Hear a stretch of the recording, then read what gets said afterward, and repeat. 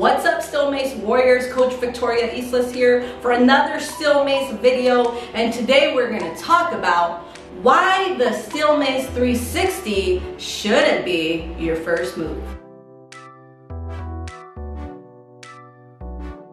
Alright, so the Steel Mace 360. What is it if you've never seen it before? Let me show you.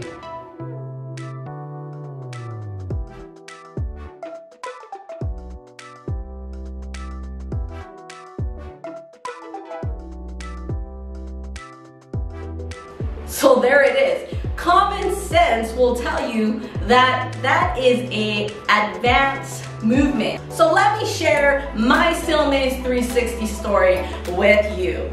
All right, like most Steel Mace 360 stories, we see a Steel Mace, we see our favorite athlete swinging with the Steel Mace, and we're like, we want to do that. I want to do that. So guess what I did? I ordered a on Onnit 7 pound Steel Mace. Now, note, it wasn't a 10 pound Steel Mace, it was a 7 pound Steel Mace.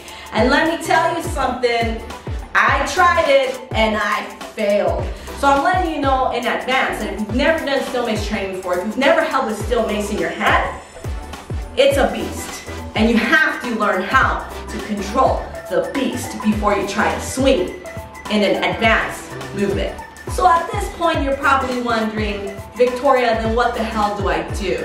So my advice to you is to find a coach, a trainer in Steel Mace who knows how to teach you 360 swing. Obviously, it's gonna take you not just one day, it's gonna take you several weeks and months and years to get the technique and skill down. So what else do I recommend? I recommend that you start very, very light if you can't find a coach or trainer or maybe an online course that you can afford at this time. So use a very light steel mace.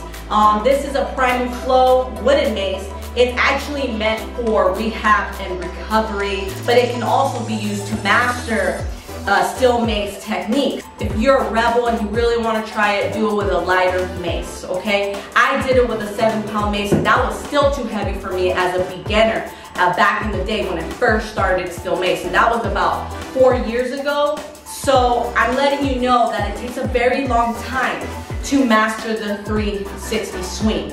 Um, I did not become great at swinging the mace overnight. It took me a very long time. Alright guys, so I hope you enjoyed this video with Steel Mace Warrior Coach Victoria Islas from steelmacewarrior.com. Don't forget to subscribe to this channel, to like this video if it was helpful and you enjoyed it.